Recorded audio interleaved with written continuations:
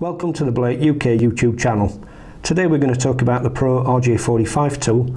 This is a multi-purpose tool that can cut, strip and crimp all from one tool. Today we're going to use some Cat 6 cable but the tool's quite happy with Cat 5 as well.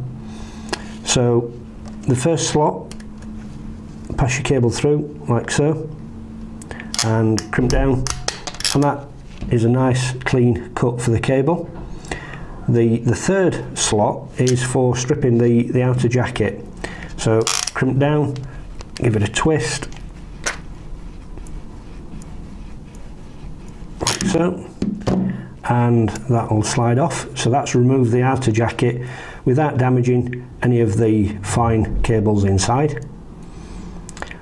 There is basically two uh, specifications for um, laying out the cable.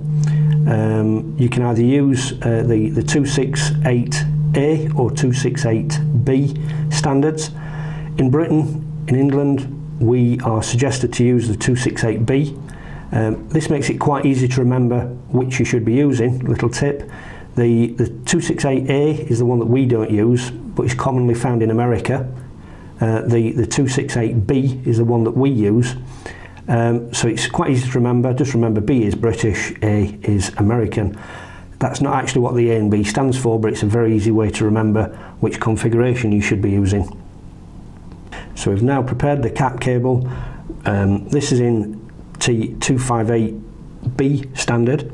So the standard is um, orange, white, orange, green, white, blue, blue, white, green, brown, white, brown. So that's the order that the cables need to be put into for Cat 5 or Cat 6 T568B, the British standard. Um, it's very important to keep it in this standard, in this configuration, uh, because of the way that cat cable works.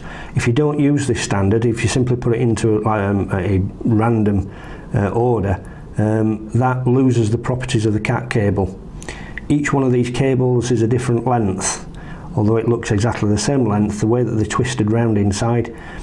What that does is uh, it, it stops interference on each of the cables, so it stops one cable from interfering with the other one. So it's very important to use the correct uh, coding, the correct layout, specification, uh, call it what you will. So once you've got them in the right order, you're then going to put them side by side, so very nice and neat, neatly side by side, making sure that you don't cross over any, making sure that it's in that, that same order that you put them in, very careful with it. Like so. Once they like this, then they're now ready um, to be mounted into the plug. Now the special thing about our plugs is there's two types, there's a Cat 5 and there's a Cat 6. The Cat 6 is a wider aperture at the back because Cat 6 is a thicker cable. The other nice thing about our plugs is um, you can tell the quality of the plug because if you look very very closely uh, the, the, the actual teeth that you're about to crimp down is uh, serrated uh, and that forms a greater surface area over the cable when you crimp it down because it's serrated. Um, that keeps up the gigabit uh, capability of the plug. Uh, it's actually quite an important feature of the plug, uh, so you can always tell a good quality plug. So once you've done that, you're going to mount the, the cable into the plug, simply into the back, push the cable up through the top of the plug, slide your cable up into the plug, like so and you'll see that the cables pop out of the top. Stop right now and check that you've not got any of these wires in the wrong order because um, while you're pushing it up into the plug they can sometimes cross over while they're uh, travelling up inside the plug. So just stop and make sure that you have got the right order um, for the for the wires like so.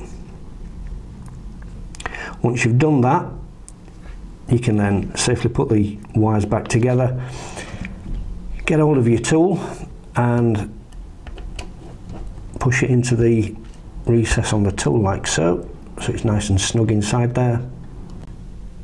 Okay crimp down. This is going to crimp the plug and cut the cable at the same time. So give it a good crimp down. Like so. That's cut the all the pieces off and it's also crimped the teeth down to cut into the um, actual cable as well. So that plug is now on.